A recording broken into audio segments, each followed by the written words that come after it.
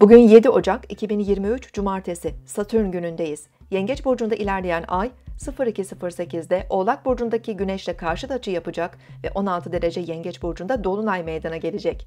Ev, yuva, aile, ebeveynler, atalar, köklerimiz, vatan, toprak, millet, beslenme, gıda, barınma, kadın, doğum, bakım, güvenlik, emlak, inşaat, denizcilik gibi kavramlar Yengeç burcu tarafından temsil edilir.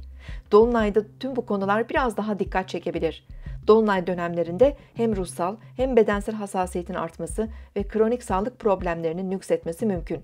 Yengeç burcu bedenimizde göğüs, mide, 12 parmak bağırsağı, karın, sindirim sistemimizi yönetir. Dolunay zamanlarında özellikle stres kaynaklı mide ve sindirim sorunları artış gösterebilir. Aynı zamanda böbrekler, bel bölgesi, cilt ve dişlere de özen göstermek gerekiyor. Öğle saatlerinden itibaren Ay, Balık burcundaki Neptün'le üçgen açı yapacak bilinçaltımızın üzerimizdeki etkisi güçlenebilir. Uyku ihtiyacımız artarken mesaj içerikli ilginç rüyalar görebiliriz.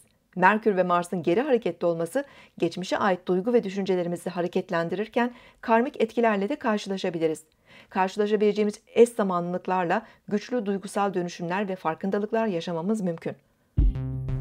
Siz de şimdi kanalımıza abone olun, yorumlar bölümüne sorularınızı yazın, sürprizlerimizden haberdar olun.